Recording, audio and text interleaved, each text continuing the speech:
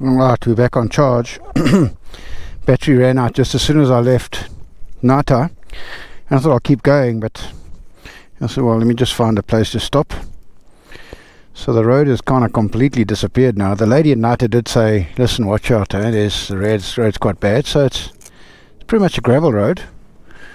Um, but I'm preferring actually to, I think as a bike. I don't know, I'll see what it's like on the gravel maybe, but I'll, um, you know, riding on a bit of tar is a bit, I find better or safer.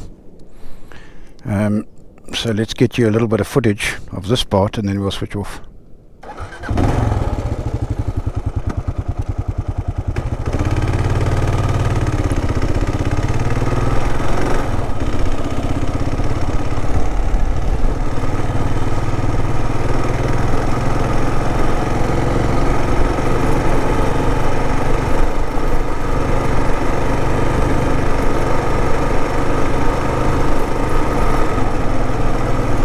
Alright, so both uh, my first bit of gravel I suppose.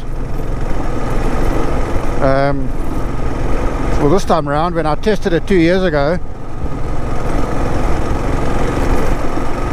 I did gravel. Oops.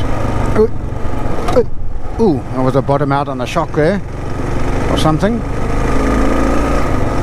Okay, we got some road back. Alright, so that was a little view. Piece of road, I think we're back okay. See you later. Uh, just in terms of timing, so I'm thinking it's about 200 k's uh, to Nata. Uh, it took me three hours. Uh, I got there what, at 20 past 9, probably left at half past 6. Say.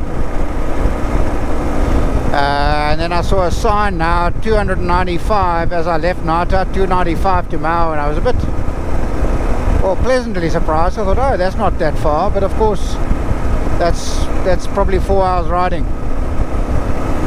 Uh, so three plus four seven seven hours to do I think 480 k's. But uh, we'll do the maths uh, when I'm there. Um, I also wanted to get the GoPro up just to just to show you a little bit of the scenery. Um,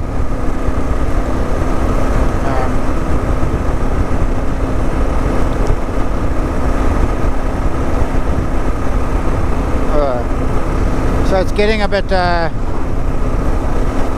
getting a bit uh, treed over, but it was a little bit earlier. Lovely open savanna with these uh, moody clouds in the background.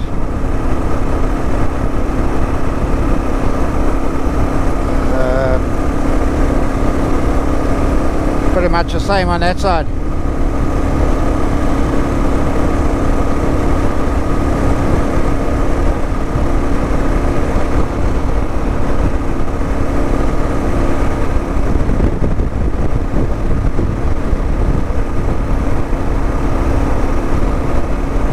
Right, see you later.